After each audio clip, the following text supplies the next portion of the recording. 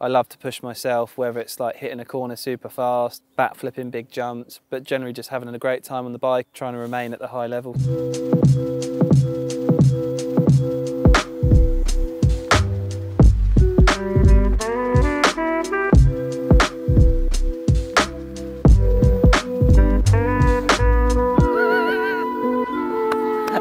So my name's Daryl Brown. I'm a professional mountain biker from Hailsham, East Sussex. Predominantly just started on a, like a dirt jump bike and was always just like playing around outside the front of the house, jumping like kids in the street. That sort of materialised into getting the bug for it and that was it, I was hooked. So like just every day after school go out riding to the local skate park or to making your own jumps in the woods that always got knocked down. And then yeah, started getting pretty good I guess. Started in a few competitions and it sort of materialised from there really.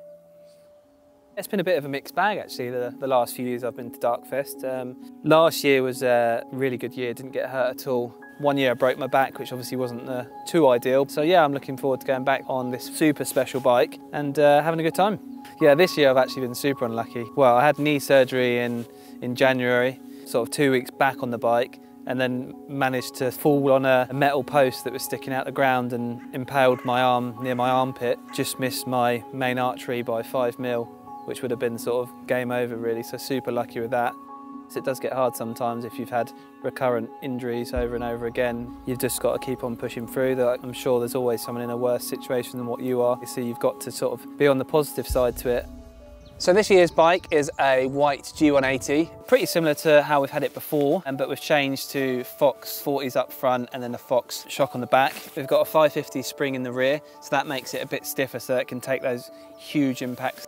This year we've gone for a full custom spray job which has been done by Fat Creations. Bex and Ali have done an incredible job of, uh, of doing the shark theme on the bike. What was really cool as well, we had the opportunity to go in there and do some myself. So I actually did some of the paintwork on the top of it and luckily didn't mess it up too much. So um, that was really cool experience, going to meet them, going to see the process and how they do it and actually having a go myself.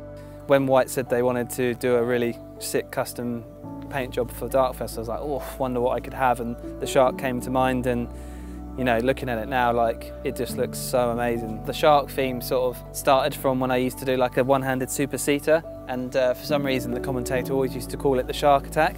So that sort of stuck and then I was nicknamed the shark. Super, super lucky to uh, be on a brand that has such an array of amazing bikes to, uh, to ride. So yeah, really stoked. Cool, done?